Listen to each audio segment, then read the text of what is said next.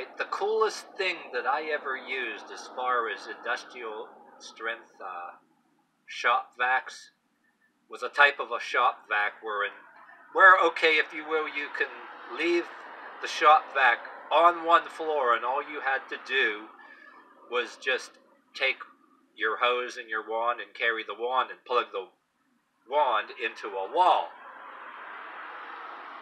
And then leave the shop vac on one floor. I mean, uh, if more places had those things, damn, that would make life easier. Alright, what's up, yins guys? Time for another video. Figure I put my sunglasses on here because can't see over here. The sun is actually hitting me right here. Don't look like it. Going right in my face here. But yeah, I'm going to do a video about subject matter like this because I did a lot of talking about stuff um, in my occupations, previous occupations. And I'm going to share this video just because I was using the shop vac today cleaning the basement since it's a nice day. It's raining, snowing, and the kind of things I used to do. You know, you could do job assignments on an app. Told you about different lectures about things, but this I'm actually excited about telling you this because it's probably useless information, but you might want to ask your guy. You guys might want to ask yourselves um, one useful thing in your house if you ever won the lottery and bought a house or built a house. Um, this uh, is something kind of cool that I would kind of share with you. For example, I got this shop vac here, right? I've done this, I do this uh, over here, clean the basement every once in a while, clean everything to clean the house. But I've used different size shop vacs, doing different kind of job assignments, either restoration in houses, doing the dirty work.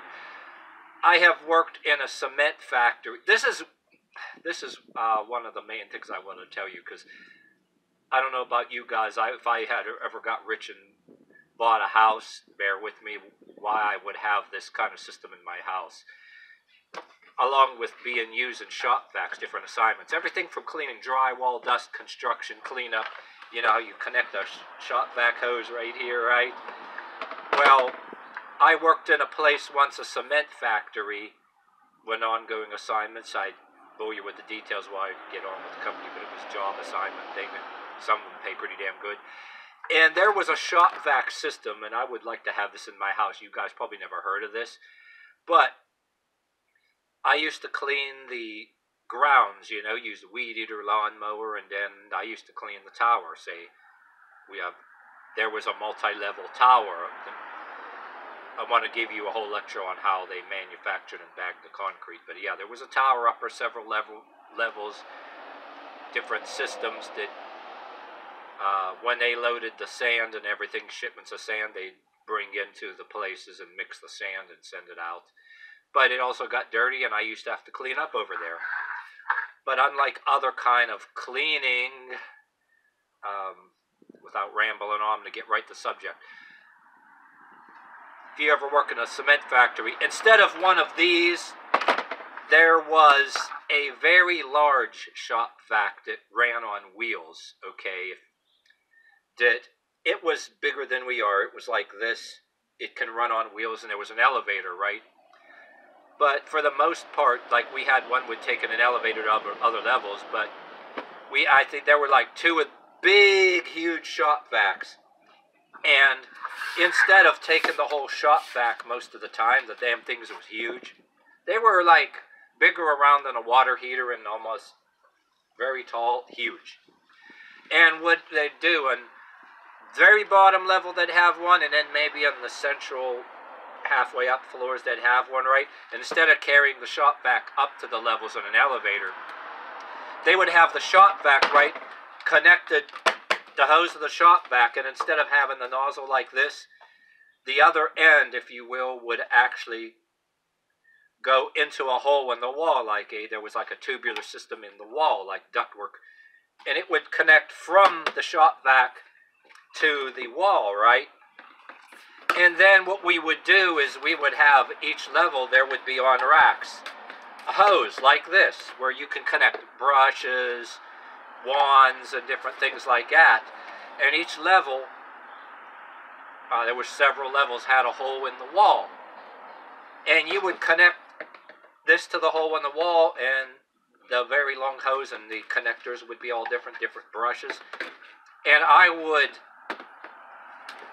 and I thought to myself, uh, if I was ever rich and built a house, it wouldn't be a bad idea to have something like that installed in your house if you had like a lot of rooms. Quite personally, I wouldn't want no billion dollar home like uh, Elon Musk or Bill Gates. Say if you had a smaller size, you know, you don't want to be paying taxes the rest of your life, you know. You won some big old uh, Powerball jackpot or something. Not like you'd have a giant mansion, but something you'd pay all your taxes early so the government, state, central, if they say the state, uh, federal, and local government just pay them a little bit more so the tax man leave you alone and live for the rest of your life. If you had a bigger house, or say you even had a, a, a place that was a business or something, or a place of business, it would be good to install something like that in multiple levels, whether you did your own cleaning or you hired a cleaning person. Does that make sense? And yet, instead of having the shop vac, right, where you had to carry it around all the time. They have ones on wheels. I have used them, like I said. Different kind of construction assignments. I used ones like this, and I used ones that were bigger. I drug around on wheels.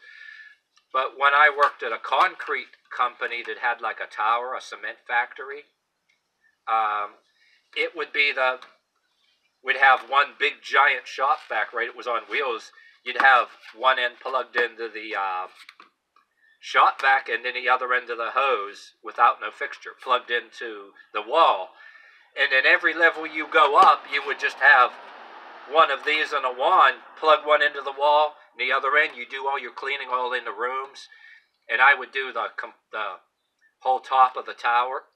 Well, I, oops, there's stuff on there. I was just cleaning the basement. But I think that is ingenious. I mean, I don't want to ramble too much. I could have got to the point. But I think anybody that ever built a house, like, if you were rich and famous and built a house, I think uh, anybody should have that. I mean, say, even if you make the life of your hired help cleaning people easier, say you had to clean up a mess in emergency by yourself, makes sense. Instead of dragging all the way, uh, a vacuum all the way up, um, yeah, and of course the big old vacuums too. You would uh, depend on what kind you got. You know, I mean, like they would have like a thing you open it up and and uh, get the shit out of there. You know what I mean? Um, but yeah, that genius. I mean, that's like so that made me think about stuff like that. You know what I mean? Uh, Yeah, a little more.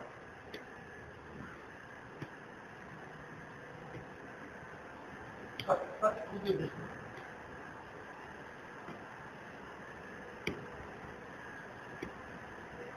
Yeah, we'll do this one. We'll want that. Oh, it does, it's good to know. You will wear out.